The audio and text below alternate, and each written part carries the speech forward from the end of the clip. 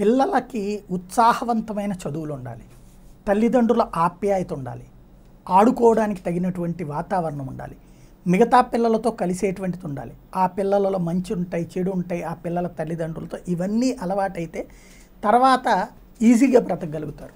కానీ కాలం మారిన తర్వాత ఆదాయ వనరులు మారిన తర్వాత పిల్లల్ని మనం పరిమితం చేస్తున్నది ఏంటంటే అయితే చదువు చదువు లేకపోతే ఇంకొక రకమైనటువంటి ఎడ్యుకేషన్ వైపుకి తీసుకెళ్తున్నాం తప్పించి క్రీడల వైపు ప్రోత్సహించడం మానేసాం ఇది ఇప్పుడిప్పుడు మన దగ్గర పతాక స్థాయికి చేరుతుంటే బ్రిటన్ ఏనాడో జరిగింది.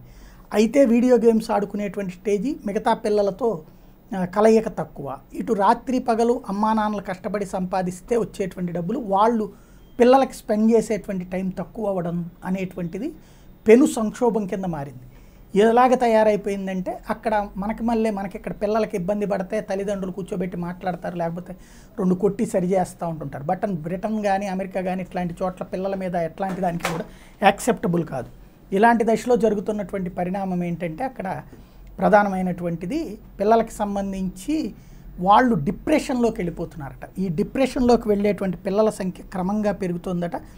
రెండు వేల పదహారు లెక్కల ప్రకారం దేశవ్యాప్తంగా ఒక లక్ష ఎనభై తొమ్మిది వేల నాలుగు వందల యాభై ఏడు మంది పిల్లలు ఈ ఇవి వాడుతూ ఉన్నారు. ఇది యాంటీ డిప్రెషన్ పిల్స్. రెండు వేల ఇరవైకి వచ్చేటప్పటికి ఇది రెండు లక్షల ముప్పై ఒక్క వేల ఏడు వందల డెబ్బై తొమ్మిదికి చేరిందంట.